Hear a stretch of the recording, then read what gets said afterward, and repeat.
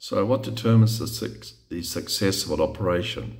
So, from a surgeon, point number one, skill of the surgeon. That's pretty obvious. Have to be well trained, maintain their skills.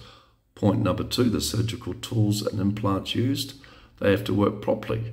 Mechanical hearts generally don't. Orthopedic in, in, implants such as hip and knee replacements work very well. Sometimes there's a problem of breakage.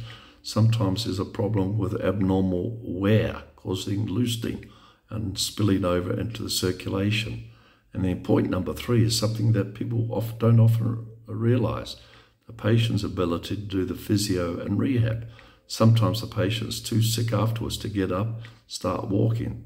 They may not get such a good result after uh, cardiac surgery, surgery, heart surgery.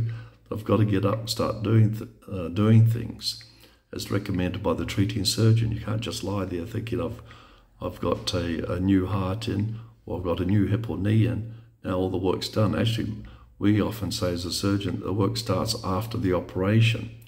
If the patient's uh, seriously unwell, they may not be able to get out of bed and move their new knee or their new hip. So all three factors are, are involved, and all three are very important. You can't just have one or two without the third. I hope you find this useful in your career. Good luck.